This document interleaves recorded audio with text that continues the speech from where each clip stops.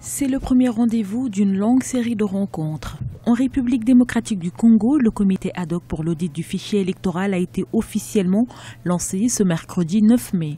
Prise de contact avec la majorité, l'opposition, la commission électorale, tous participent à cette rencontre qui aura comme principale mission d'émettre des avis et autres remarques sur le travail de l'audit. Moi personnellement, ça me rassure, ça prouve que nous allons droit vers les élections et qu'elles euh, elles devraient avoir bel et bien lieu dans les temps, je l'espère, euh, d'ici la fin de l'année. La veille de cette installation, mardi 8 mai, le président Joseph Kabila a promulgué la loi de répartition des sièges, une législation rejetée par une partie de l'opposition qui dénonce une situation qui favorise la majorité. La majorité au pouvoir sait qu'elle n'obtiendra rien comme voix aux élections.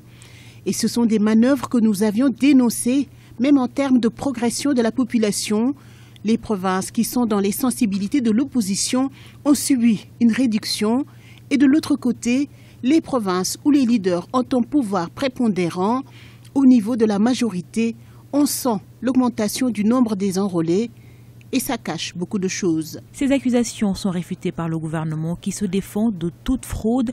Au total, ce comité d'audit est composé de 12 personnes, dont 3 issues de la majorité présidentielle, de l'opposition et de la société civile et 4 autres partenaires.